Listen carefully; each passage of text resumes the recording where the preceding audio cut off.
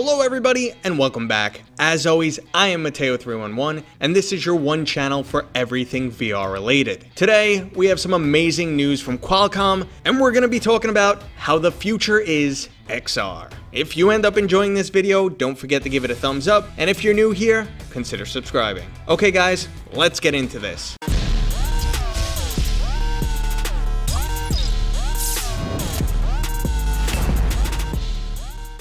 So Qualcomm has announced that it's partnering with major smartphone providers to bring us XR. So what exactly is XR? Well, it's a combination of a lightweight display that connects to a 5G enabled smartphone via a USB-C cable. Something like this was teased back with the original Vive Cosmos promotional material, and the speculation back then was that this would require a cell phone with a Snapdragon 855 or the upcoming 865 mobile platform. Well, as it turns out, that's exactly the case. Currently, many manufacturers are already in the process of developing different types of VR viewers, and Qualcomm will standardize compatibility with a certification program. Any certified XR viewer will work with any certified XR smartphone. This is amazing news because not only will it allow us to avoid compatibility issues, like we saw in the early days of VR, but it also sets up a plethora of alternatives to Apple's upcoming AR device, the Apple Apple Glass. The certification process also sets up some minimum requirements, protecting the XR market from cheap products that dilute the entire brand. So unlike VR having to deal with the Oculus Go or the defunct Gear VR, XR should have a much less convoluted product launch. Some of these certification requirements include 6 degrees of freedom, a maximum amount of display latency, and a minimum resolution. Over 375 smartphones that meet this criteria have already either been announced or are in development. This includes smartphones from all major producers and also some that have already released like the Samsung Galaxy S20.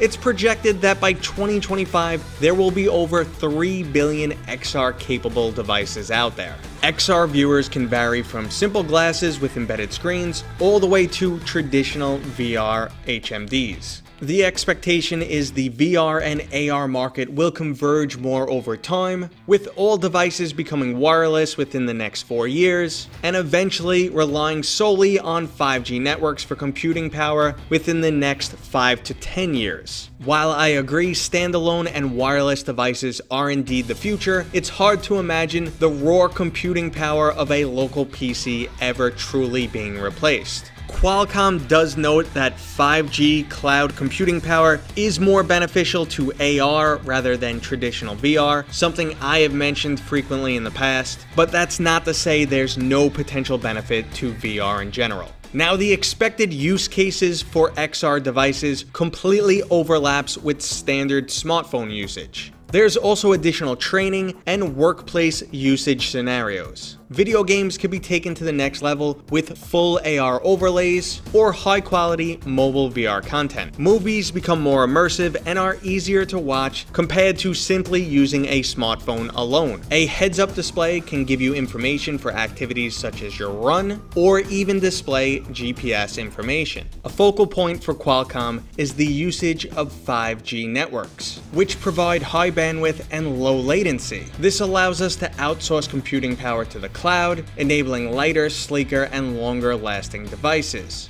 Nvidia is already working on Cloud XR, and if anyone can pull off cloud-based VR or AR gaming, it's them. Their desktop streaming service, GeForce Now, already provides an amazing experience. But Cloud XR is not limited to just gaming applications. Now there is some projected forecasts for the growth of XR and speculation on how standalone devices will begin to replace traditional VR devices. I always take these with a grain of salt, but leveraging a device that almost everyone already has, namely a smartphone, ensuring compatibility and quality control through a certification program, major players on board such as Samsung, Apple, HTC, and Verizon, well, the future of XR does truly look bright. Qualcomm also has a new chip designed exclusively for next generation XR devices. Which is the Qualcomm XR2. It has the ability to support up to 8K resolution screens, 7 cameras, and twice the computing power of the Oculus Quest. So it looks like the next generation standalone VR and AR devices will be pretty darn amazing. And lucky for us, the first of those devices is set to release by the end of this year. The first product to market will most likely be the Nreal Light, which at first glance just looks like a pair of sunglasses. Now they do trade off sleekness for a low field of view, and I'm really waiting for a higher end